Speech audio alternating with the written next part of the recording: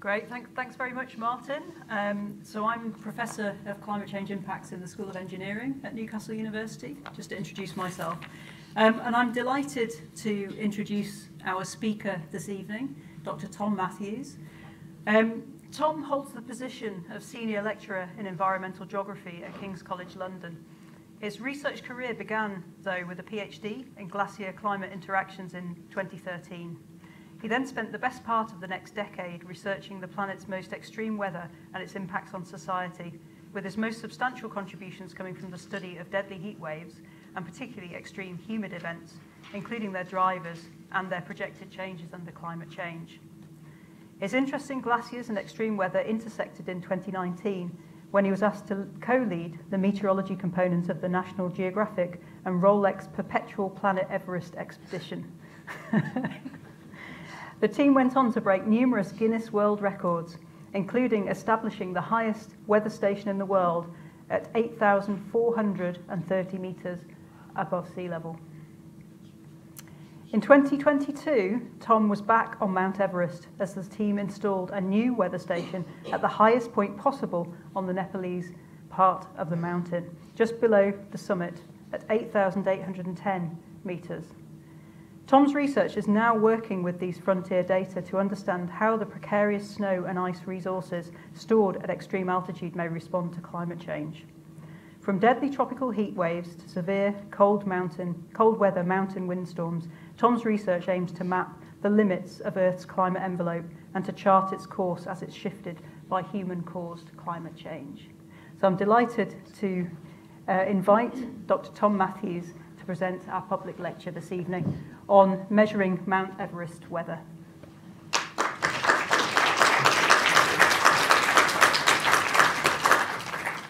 Well, thank you, Hayley, for the introduction, and thank you for everyone turning out this afternoon or this evening. It's lovely to see you all here. And I must say that introduction made it sound like there was a, uh, an organised vision to my research, whereas I think in reality I just stumble from interesting weather event to interesting weather event. Thank you very much, Hayley. Um, so, yes, I'm here to talk to you about measuring Mount Everest weather. I'll tell you this four-year story, this four-year quest, tell you uh, how we did what Hayley just summarised there, installing these highest weather stations in the world. But to begin with, why? That's what I'll start with. I'm going to tell you about a story that, well, I'll tell you a story that involves a lot of um, effort, a lot of cost, um, and I, I think it's very important to frame that appropriately. Why go to such lengths?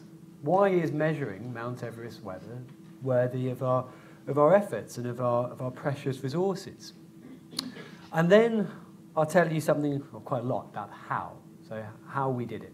Um, and a spoiler alert, there was a small part in this. Um, Sherpa team, or Sherpa teams, were the, the heroes of this, of this effort. So I'll tell you a lot about the how, I'll show you lots of pictures and describe the journey up the mountain, the challenges. And then I'll also, as this is a university, I'll also talk a little bit about what we're learning, some of the science. So the science will start, will frame the talk, why go to such lengths, and then along the way, whilst telling the story of how we put the weather stations in, the challenges, I'll tell you what we're finding. So to begin with, a story that is um, unfortunately very familiar, I think, to everyone in the room, the climate's changing. Not a case of what will happen, not just what will happen. The climate's already changed a lot. A lot being around 1.2 degrees of warming since the beginning of the Industrial Revolution. You can see that map ticking away up there, the colours indicating uh, the warming that we've seen since pre-industrial. As we move, that map moves from being predominantly blue to predominantly yellow and red, indicating the warming trend.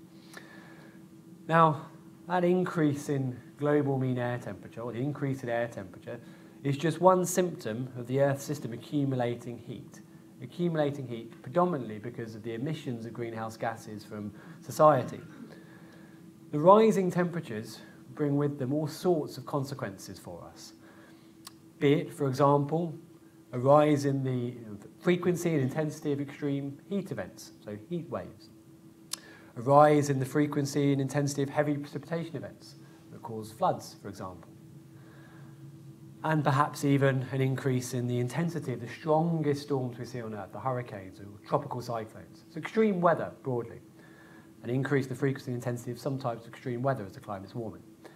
But today, or this evening, we'll turn our gaze to this, the widespread retreat of glaciers that we're seeing. The glaciers respond in quite a straightforward way to climate change. As it warms, we see more melt more sublimation, more mass lost from glaciers.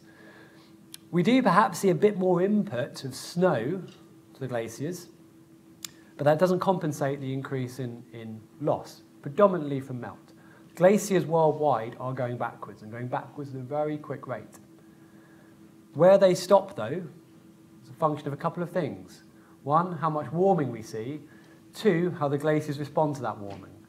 And both of those questions are difficult to answer. But how much ice have we lost? How urgent is this? Well, over the last 20 years, glaciers in, glaciers in high mountain Asia, and Everest is in the Himalaya, that's in high mountain Asia. That also, though, encompasses this, this stat, high mountain Asia encompasses the Karakoram, for example, the Pamir, other mountain ranges. In that region, the last 20 years, lost nearly 20 billion tonnes per year. So what does that mean? How much is 20 billion tonnes? It sounds like a big number, doesn't it? But it's hard to picture. I find it hard to picture. So a picture might help us. This is Hyde Park, and you see here. I do now live and work in London, so this feels like an appropriate example. About a kilometre across. So we would have a cube of water, a kilometre on its base, and a thousand metres high, it's taller than the Burj Khalifa, the tallest building in the world, which is about 800 metres high.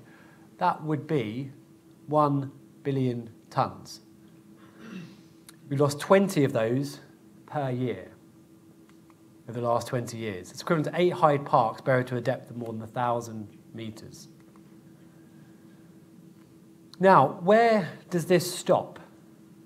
Just talked about what's happening. We're losing an enormous amount of mass from these glaciers in high mountain Asia. What comes next, I alluded to at the beginning, is somewhat unknown, or rather, there's lots of uncertainty. The biggest one, I won't talk about very much, biggest one is how much warming are we going to see over the rest of this century? That depends fundamentally on what we do, our emissions of greenhouse gases. We can't know where that experiment, a very dangerous experiment, will stop. So we can't know what the future climate will look like because it fundamentally depends on us. But we also don't really have a very good understanding of how the, the glaciers will respond to the warming that may occur. And the reason for that, or one significant reason for that, is that we don't have very many weather stations out in the places that these glaciers are, are located. Weather stations measuring the current state of the climate. For example, as of 2019, there were no weather stations in the world located above 6,000 metres above sea level. And above that altitude, we have more than 2,500 cubic kilometres of water stored as ice. We, have no, we had no weather stations at those altitudes to measure the climate in which that ice was being stored. Less than 20 were above 5,000 metres, where there's 11,000 cubic kilometres of water stored as ice. To give you some an analogy, to give you an analogy, that's enough to supply the time for almost 8,000 years. There's a lot of water stored up there that we're not monitoring, stored as ice, glacial ice. Now, why does that matter that we're not monitoring the climate up there? Well, picture this as our glacier, minute, as our glaciers for a moment. And think about what the impact of warming could be on these ice cubes. If these ice cubes are in an environment where it's minus 10 degrees Celsius, what's the impact of two or three degrees of warming? Warmer ice. What if it's instead stored, stored in an environment where the temperature is minus one? Well, two degrees of warming then means melting, a transition. The base climate matters. The temperature in which the ice is stored matters. So we need to know the baseline climate, have a good understanding of what the impact of any warming will be. The same principle also applies for understanding what's going to happen to that big input, the key input to glaciers. So glaciers, they grow from snowfall, or rather snow is the input, and then they lose mass predominantly from melting. So we need to know the baseline climate to understand what the impact of warming will be on melting and also to understand what the impact of warming will be on precipitation. If the snow is falling in air temperatures, of again, of minus 10. Warming, well, what will that do? Give us warmer snow, perhaps a bit more snow because the amount of water that the atmosphere can hold, the number of snowflakes, if you like, goes up with warming. But what if that snow was instead falling in a climate or an atmosphere that was minus one or minus two, and we had a couple of degrees of warming? Well, instead of snow, we now have something completely different. We now have rain. And that's no longer an input to the glacier. The rain is actually a source of melt energy. So the baseline climate really matters. If we don't know the baseline climate, understanding what the impact of warming will be on glaciers is very uncertain. So it would certainly help to have some more measurements, more measurements of the current climate in the mountains that these glaciers reside. But that's difficult to do. Why are they not there? They're not there because logistically it's very hard to put weather stations at these sorts of altitudes. So in that context, you'll see why we went to this effort, or at least part of the story of why we went to this effort to put these weather stations in. But a, a heuristic or, let's say, a picture we'd have in your mind is that we're used to thinking about the topography in, the, in the mountains in particular. If we go hiking we go climbing, we're used to thinking about the topography, the importance of knowing what the topographic surface looks like, or what the topography looks like. We represent that with a contour map. The contour maps, well, contour maps have been well produced. The topography of the Earth's surface is very well understood. We know the highest point on Earth is Mount Everest. We know the, the lowest point is the Marianas Trench. Now, you can think of the, any climate parameter, any atmospheric parameter, like temperature. Continu- we could imagine that as a continuous surface. But we only have these spot measurements. Actually, worldwide, there's only around 10 to 20,000 weather stations operating at any one point in time. So we have 10 to 20,000 spot measurements of the air temperature field, even fewer of the wind speed field. So if you could picture the, the dearth of data in the mountains when it comes to weather data, we're doing this. We're walking in the dark. We have very, very little understanding what the weather's currently like in the high mountains, where these weather stations are just, oh, they're absent from, they're not there. So it's against this backdrop that National Geographic um, uh, emerge, in, they emerge into this landscape. This is the headquarters in, in Washington, D.C. And they had this, um, this idea, the Perpetual Planet program, financed by, by Rolex. They wanted to essentially improve understanding of the, the critical Earth systems in the context of climate change. Three systems the mountains, the rainforests, and the oceans. And in their work preparing for the big push in the mountains, they commissioned or invited some of the world's leading scientists to understand how important these mountain glaciers were for society. In the context of water resources, because it isn't actually obvious, right? Glaciers store water as ice. What happens if you melt the glaciers? Well, they, they, they retreat. Do you have less water flowing through your catchment? Not necessarily, because we might see an increase in rainfall. It's not necessarily the case that you have less water downstream as the glaciers retreat. What glaciers are very, very important for is providing a reliable source of water to communities downstream when it isn't raining. For example, when it's hot, dry, and sunny, and it's not raining, the glaciers are melting more, and they're compensating for that low flow. So glaciers are very important providing reliable sources of water when there isn't rain. And National Geographic commissioned this, commissioned this report, invited, convened leading scientists to understand where the most precious or vulnerable water tower regions were. Eh, mountain areas of the world where glaciers were an important supply, or glaciers and snow, were very important in providing water to communities downstream. Very high profile paper published in Nature. If you look hard amongst the co-authors, you won't see me, but you will see one of your own, Bethan Davies, who's, who's in the audience, who is one of the co-authors on this paper. And one of the things that came out of this was, well, the Himalaya, the central Himalaya, just the headwaters of the Ganges Brahmaputra, is a very important water tower. Not number one, I'll come back to that at the end, but a very important water tower nonetheless. And they thought the best way to kick off this push to try and help fill that observational gap, to improve understanding of the world's water towers under climate change, was to launch a flagship expedition to Mount Everest. where we're going to go and try and fill in some of the gaps. I'll talk to you about the meteorology team's effort, installing weather stations to fill the gap. There's far more going on in 2019. There's also a geology team that went, a mapping team that went, a glaciology team and a biology team that went. What does it take, though, to launch this effort, big scientific expedition to Mount Everest, the weather station bit that I'll focus on? Who's involved? It's not just scientists. I'll talk you through the cast here. So you have Aurora Elmore. She was leading the science effort at National Geographic. PhD in oceanography. Ananta Gajurel, Professor of Earth Sciences or Geology at Tribhuvan University in Nepal. He was a co-investigator or lead, uh, lead uh, sorry, co-PI, co-principal investigator from Nepal. Pete Athens, Mr. Everest seven times his email address, don't spam him afterwards, but he was our climbing lead. Summited the mountain seven times, one of the world's um, most famous mountaineers, accomplished mountaineers. Dawa Yangzum Sherpa, international mountain guide, first female, I believe, to or first Nepalese female, I believe, to climb K2, and also summited Everest. She was one of our key climbing leads. Paul Mayewski, who has led very, very significant uh, ice core projects in Antarctica and Greenland. He was the co-PI um, along with Ananta. Panuru Sherpa, our lead Sherpa, you'll see some more pictures of him uh, later on. He was head of the Sherpa team in 2019. Sandra Elvin and Jiban Ghimire.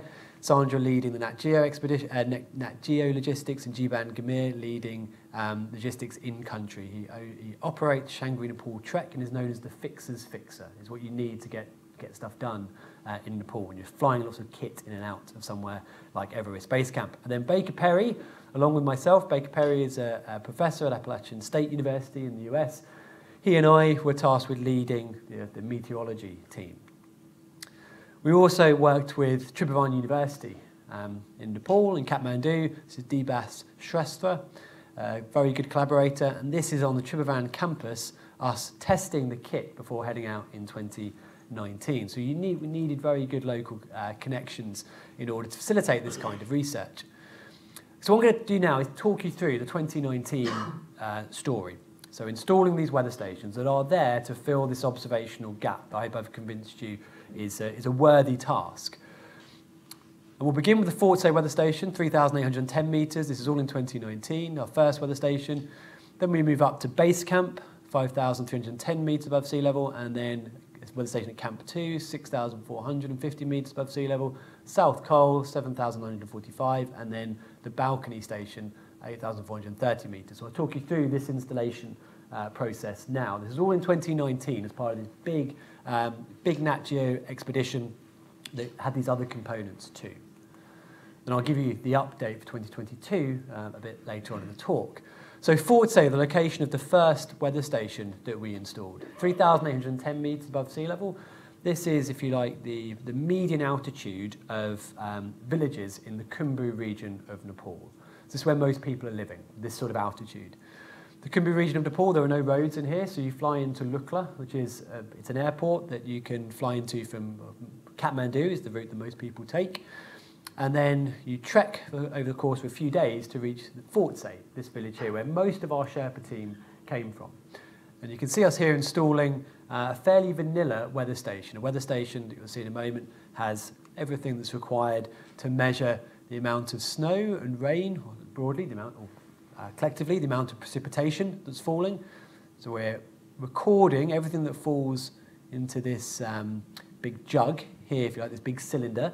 We're weighing that. That tells us how much precipitation is, is coming in. We have this baffling around the bucket to prevent the wind from blowing precipitation clear of the rim. Otherwise, we would underestimate the amount of precipitation that's falling.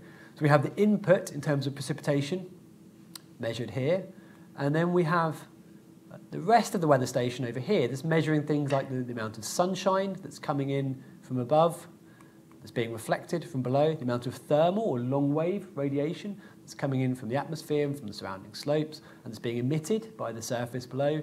We're measuring the air temperature, the relative humidity. There's a wind speed sensor on here somewhere. There's air pressure inside the box, and there are some, some thermistors going into the ground measuring the temperature of the soil. All those things together give us enough to work out how much energy there is to evaporate water from the land surface so we can work out the water balance at this altitude where people are farming and living and where we need to better understand the consequences of, of climate warming for. But it's a fairly vanilla installation. This is our next installation. This is a base camp and a very staged photo you see here, me working on one part of the station and Baker Perry working on, again, another, uh, another the other component, the precipitation measuring component over here. The main camp, this is, this is Mount Everest Base Camp, is just behind the precipitation centre around 500 metres away. That's where the tents are, where people will be camped ready to make their attempt on Mount Everest. This is that station again uh, in all its glory. So you can see this is the summit of Mount Everest here. Nuptse, for those that know the mountain, close to 8,000 metres is just up here, and Lhotse is just round the corner. And you can see, perhaps you can see some yellow flecks down here. They're, they're the tents uh, base camp. And why not show you some of the data from, from this station that we're now a few years in. This is the year-to-date precipitation curves. So at any point, look along, read along the x-axis to get the day of the year, and then what we do is accumulate or accumulating the precipitation through to that point, so you see how much precipitation has fallen throughout the year to that point, but just reading across the y-axis. And what I thought was interesting is you look at the, the annual precipitation, between 500 and 700 uh, millimetres for the three years that we have complete data for so far.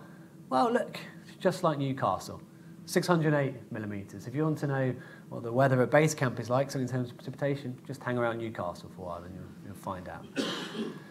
Okay, but that, that's all quite vanilla so far. If you're used to working in these sorts of environments, so measuring the weather to help understand uh, glacier response to climate change, the weather stations I've just described to you, the, the, the setups, they're typical. So we deploy weather stations like that in other mountain regions around the world. So in Europe, in the Andes, etc. Um, they're not particularly challenging to install. You know, logistics uh, can support kind of weight that has to be carried in. So there are no special challenges that emerge installing weather stations up to Everest Base Camp. The challenge comes from going higher, and there is a need to go higher because half of the Khumbu Glacier is above about 5,500 metres above sea level, which is about here. We've just been looking at a weather station down here, a base camp. The halfway point in terms of where the, above this half the area is and below this half the area is around 5,500 metres. We're going to have to go above the icefall. This is the famous Khumbu icefall, and into the Western Cwm up here. If we want to get data, measure the baseline climate from the upper half of the glacier, then it gets difficult because um, you have to carry everything on our backs and you have to climb. It's, it's really a different prospect going above base camp. So now I'm going to talk you through the rest of the, of the climb and, and what it took to get up there. So this is um, a little time lapse of uh, the climbers picking out the route through the icefall. So this was, was taken by some Nat Geo uh, media team that were there recording, documenting the expedition. This is a time lapse at, at night time. So you can see the climbers, their headlamps picking out the route through, through the icefall. And this is actually how you first see climbers ascending from base camp. If you pop out your tent to go to the toilet in the middle of the night, you will see often a train of headlights going up through, through the icefall. A place you first encounter in the night.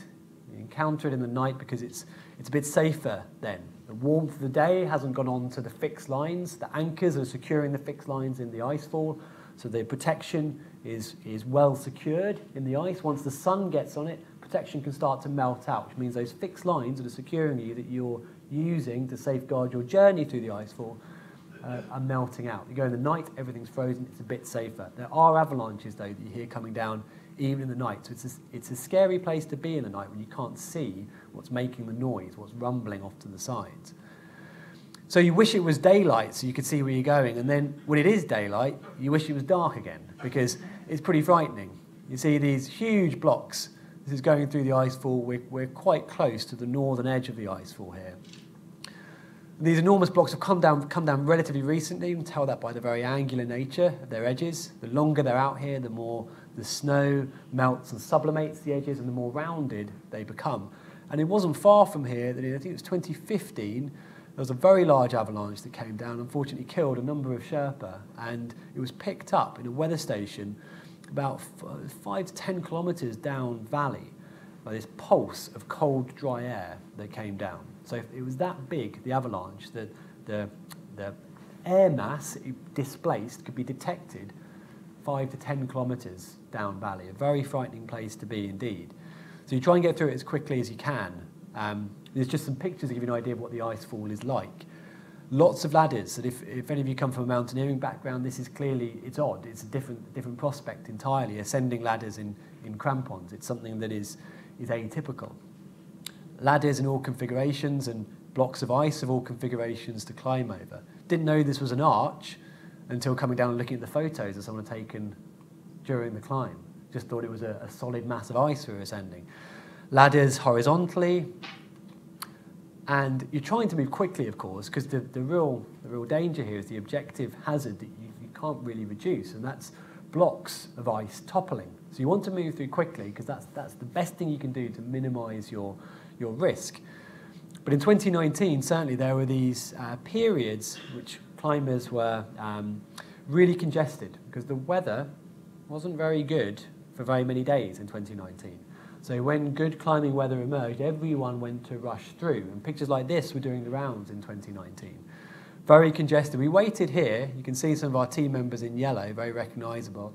Waited here for around about an hour to ascend these, these two ladders that were here. So a real choke point.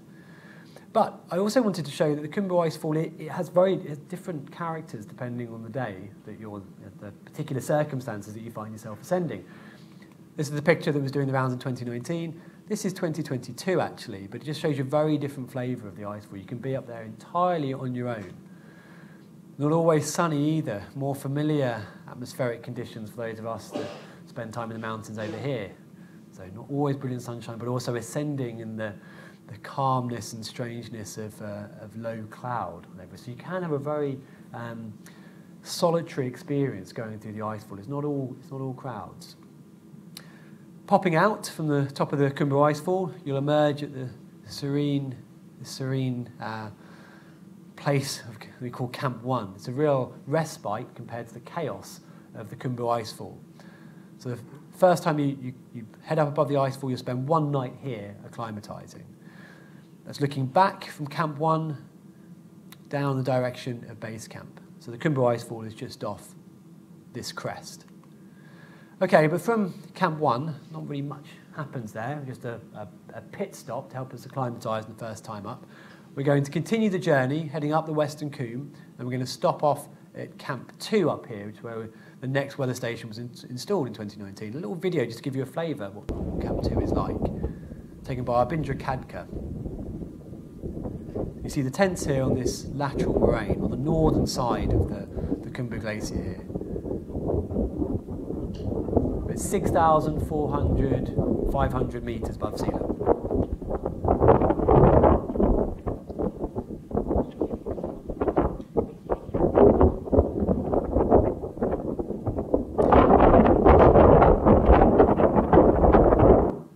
Also known as Advanced Base Camp. So up here, you can still expect to eat your dinner in a mess tent, sitting on a seat and having a table. It's extraordinary.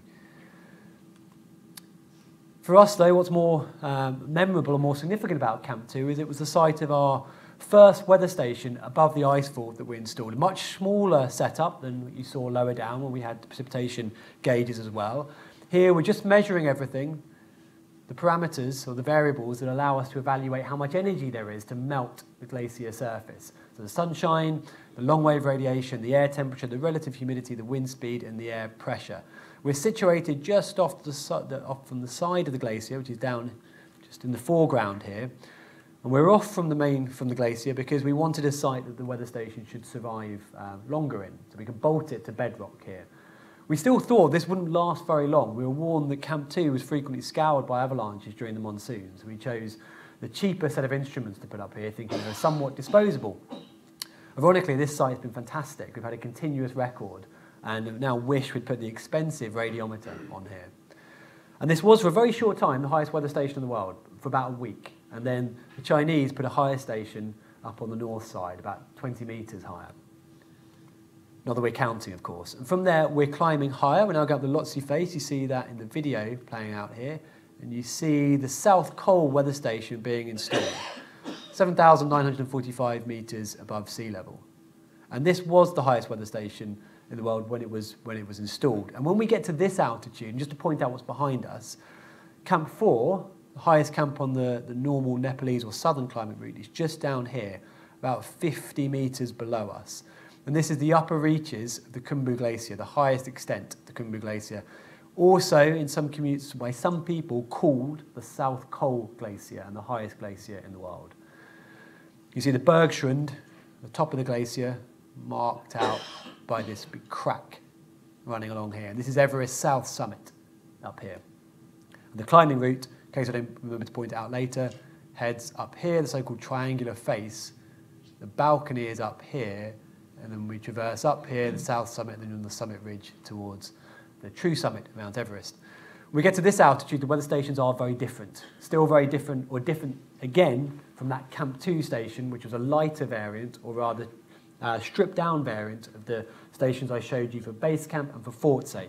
By the time we get up here, weight is very important. This whole system is modular, different bits can be taken off, put in backpacks, and the whole thing weighs 50 kilograms. So what do we have? We have solar panels to provide power or to charge the batteries, which are in one of these Pelican cases. We have a satellite transmitter to send data out in near real time. We have redundant sensors, so we have two temperature sensors. We have three wind speed sensors. This one, this one, and this one, which is a pitot tube. It's the same type of sensor that records the wind speed on aeroplanes. So single solar and long wave radiation sensor because they're very expensive. We couldn't afford two of everything and some powerful battery. I've given you the batteries in one of these boxes and a data logger in the other, in the other case. And the highest, the heaviest individual component is around 10 kilograms, I think, from memory. So all of this stuff can be taken apart, put in backpacks, and carried up.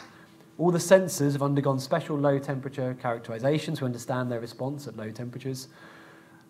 The mast itself, aluminium, lightweight and it's been custom engineered and tested with CFD, computational fluid dynamics, to work out the forces that will be applied given certain wind conditions and to test whether it's, um, whether it's strong enough to withstand those forces.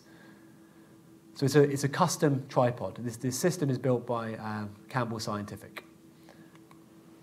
And we intended to install that weather station so we had one at the South Col, and then in 2019 we also intended to go up to the summit, as close as possible to the summit, a place called the Bishop Rock we wanted to install in 2019.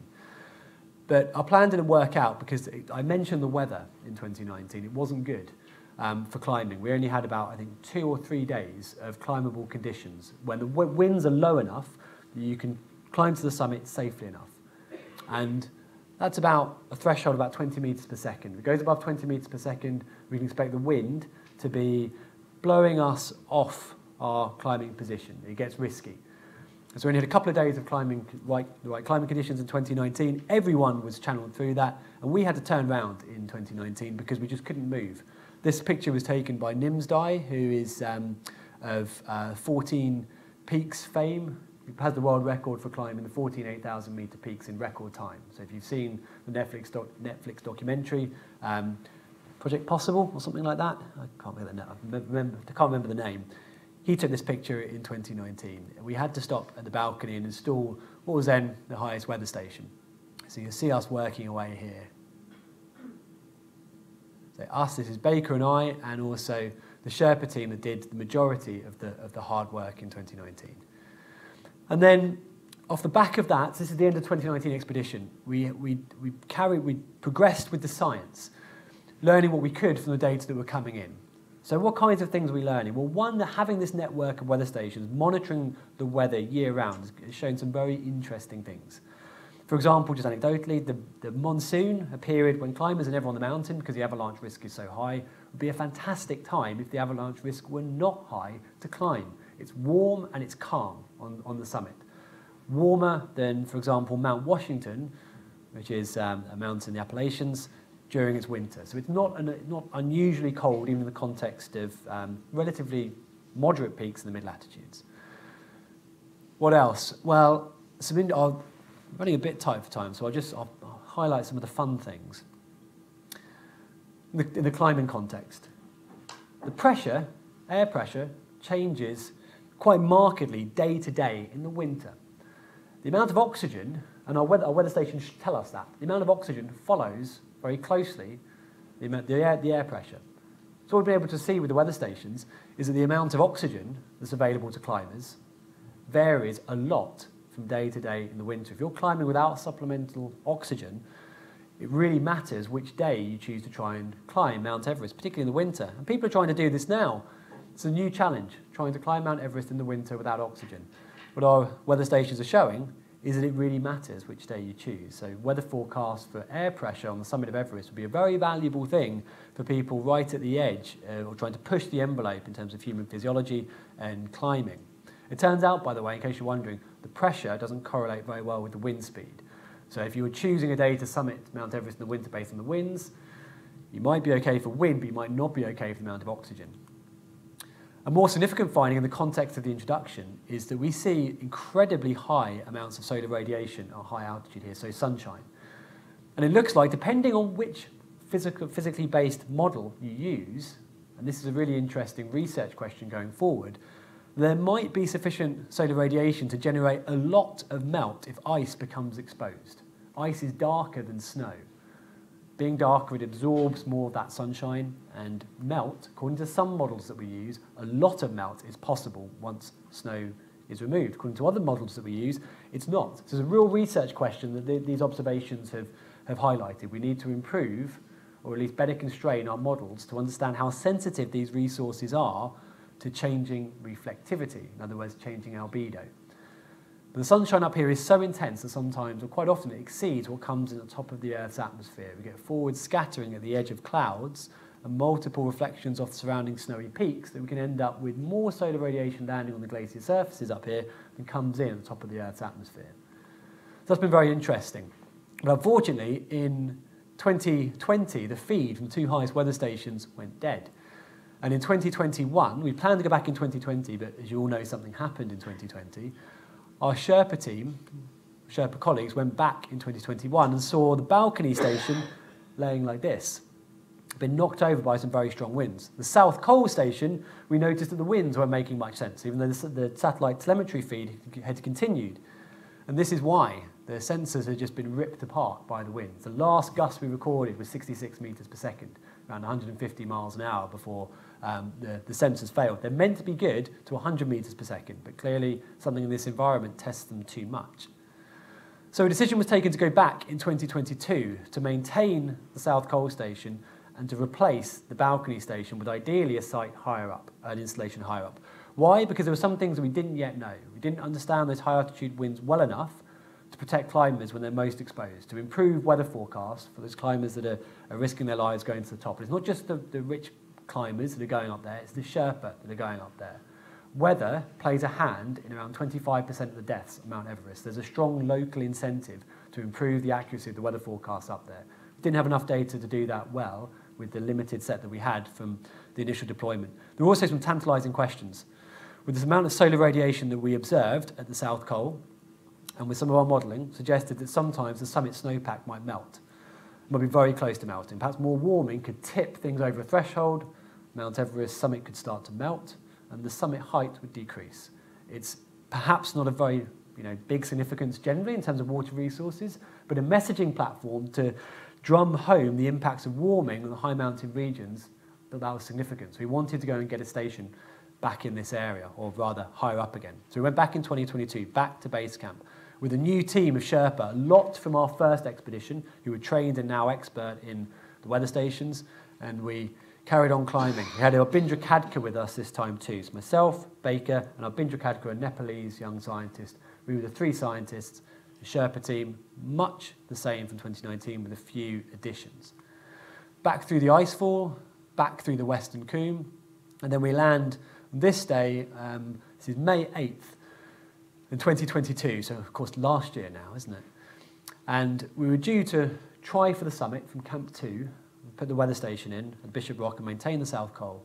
um, on the morning of May 8th. We're going to leave, we're going to spend one night at Camp 3, which is high up at the Lhotse Face, then progress onto Camp 4, and then move to the summit. That's the normal, that's the normal route. But then Baker was on the radio, and well, he was outside the tent actually, early on, the morning of the 8th, and we were due to have a leisurely start, because Camp 3 is not very far away from Camp 2, half a day. And he's saying, I think we need to come need to come and look at the weather forecast, I think our plans need to change. And to cut a long story short, whilst we were at Camp 2, the forecast deteriorated and deteriorated. We were targeting the 10th for our installation. We were using weather forecasts from the European Centre for Medium Range Weather Forecasting, looking at wind speeds, metres per second. I didn't have any units on this plot, so forgive me, but metres per second. And this is our threshold. We know this from mining uh, data on successful climbs. Whenever the winds are below the lines and the envelope is majority below this orange line, we think it's okay for climbing. If it goes above, we, we don't think it is. We were originally targeting the 10th. We left base camp, I think, actually on the 6th. And this is the forecast we had. The 10th looked good. Keep your eye on the 10th. And by the morning of the 8th, when Baker's outside my tent, we're now above that threshold for the 10th. So it doesn't look good. So what we had to do, we had a decision to make. We either give up for this, for this push and go back to base camp and get more supplies and wait until the weather improves and then make our attempt. Or we try and do something that I thought was risky, but it turned out everyone else thought it was a good idea, and it probably was in hindsight. We leave that morning and we try and go all the way. So we try and skip Camp 3, we go straight to Camp 4, rest for a very short period of time, and then go up to try and get there on the 9th instead. So we're going to, I should have had this slide up to tell you that story. The normal route, Camp 2, so you would leave here, we're going to leave there on the 8th, that was originally the plan. Spend the night of the 8th here, go up here, rest for half, uh, many hours, until the early hours of the 10th. So we'd have had the night of the 9th, early hours the 10th. We'd head up and try and put the weather station up here. But because of the weather being what it was, what we decided to do was go straight from Camp 2, and this was late in the day too. You would normally, if you're trying to go up from Camp 2 to South Col, you would leave early. We left, I think, at something like 10 a.m., not an alpine start, and had to go all the way to the South Col.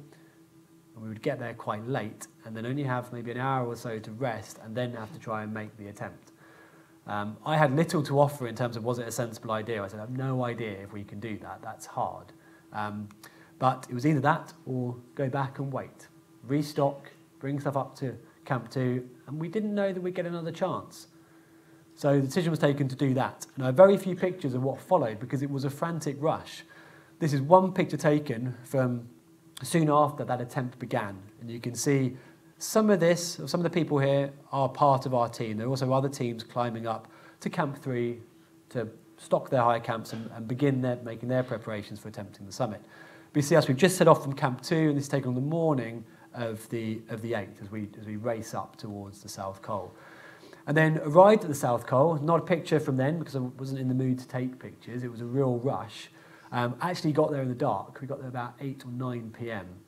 and was met by Kami Temba Sherpa. This is Kami Temba and this is Tenzing. They were, Tenzing was the lead Sherpa in 2022, Kami Temba was number two. And he came down, he'd raced ahead, got there before me, he came down with a mug of hot chocolate just when I was probably half an hour outside of Camp 4. A real guardian angel or saviour appearing with that. It was a long, hard day, and I'll, and I'll forever be indebted and grateful for him coming out. And what then happened was the Sherpa basically took care of our Arbindra and I, who had you know, pushed ourselves to get up there, a long way behind the Sherpa. They took care of us, fed us, watered us, and made sure that we were as rested as we could be, had a couple of hours there, and about 40 minutes of trying to sleep before we set off again to go to this, make the attempt on the Bishop Rock. And we'd have had no chance of being in a state to even, to even begin making that journey if it wasn't for them. It was extraordinary, the effort that, that they went to. And then no pictures of what followed either because it was a frantic climb through, through the night. We, we leave about 11.30 at night and then climb through the night. And then this is us arriving at the Bishop Rock and all working. The summit is 40 metres up here. And I'm running low on time, so I'll summarise. It took three hours of struggling up here to install the weather station. And that wind, looked okay on the forecast, was just on the edge of being okay up here. First Sherpa team members to get up here, said, it's a shame, we're going to have to go back, it's too windy. And then we discussed a bit more and decided that maybe we'd wait for Tenzing, the lead Sherpa, to get there and we'd reconsider. Because I thought, oh, not again. I'm not going to go all the way up here and turn around now. So we didn't. We worked away. Three hours later, the weather station was up. In the, me- in the meantime, did go up to the summit, mainly, and this will sound ridiculous, but to keep warm. Three hours of milling around down there at the weather station. We were all taking in turns to try and connect the wires, the last wires, and the Sherpa were far better at this than I. Their physiology is, is much better, dense capillary network in the, in the fingers. My fingers, as you'll see, got very frozen. I was useless at putting the wires in. So for the last stages, I was watching while the Sherpa were doing all of the hard work. And this is really the very final stages you see um, being completed here, and the, the two key players in this game, Tenzing and Kami Temba there, putting the finishing touches to the weather station. And these are the first data that came out from the weather station at the Bishop Rock. So you can see the temperatures were hovering, so this is just after we installed the station. When we were installing, they're probably between minus 20 and minus 22. Uh, wind speeds were about 20 metres per second. They were actually faster than we would have liked. We'd have seen this in the forecast up there. We wouldn't have gone. So the weather was tough putting this in. Some other interesting things that maybe I'll talk about in the questions or some insights is the radiation regime up there is absolutely wild. You see this really intense sunshine, the black curves close to the top of atmosphere, solar radiation during the day in clear sky conditions. At night, the long wave radiation really drops. And if the surface were to equilibrate with the long wave radiation that's coming in, it would drop, this in the spring, is about minus 70 degrees. The radiation up here is, is wild.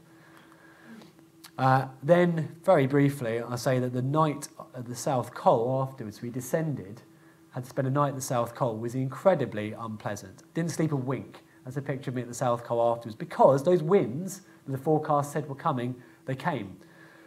It was blowing 20 to 30 metres per second during that night. The whole tent was moving, snow was piling in. It was really, really miserable. But interesting, the forecast certainly was on. We could not have gone up there on the 10th. So it's testament to how good the forecasts are in this region. We now know that from having the weather stations there. It gives us a basis to improve the forecast for climbers going forward. Uh, I'll really skip over this. Got very cold fingers uh, during that installation. And I say I tried to work very briefly without gloves and was useless. The Sherpa team, our Sherpa colleagues that were there, they, they had their gloves off for substantial periods of time. And that's the difference between success and failure. It was their ability to work up there that allowed us to connect those wires, that allow us to fill in the gaps. We now know what the, what the temperatures are like up there during the spring. Wind chill temperatures, if you look at the purple, very unusual to get anything below minus 40 at the summit. In winter, our estimates from the limited observations we have suggest it gets down to minus 80, the wind chill, and the most extreme cold climates on Earth. And we are now, I'll finish up by saying that, you know, going back to that heuristic, that bigger picture, what are we doing? We're slowly filling in the gaps up there. This is a, a sequence from a time-lapse camera that's sitting at base camp. And it's taking pictures twice daily of Mount Everest. The weather stations are filling in that, that map, that contour surface, telling us what the temperatures, what the wind speeds, what the air pressure, what that's doing up there. And we're slowly filling in that blank spot, that black space, as we're getting more data from these stations. That will continue. The stations at the top need lots of maintenance. But every day, every hour of data, they, it provides us with something to both improve our understanding of how these high altitude ice masses are and may respond to climate change, and also how the weather may endanger people's lives and how we can perhaps provide better warning. So I think with that, I'll stop there. Thank you.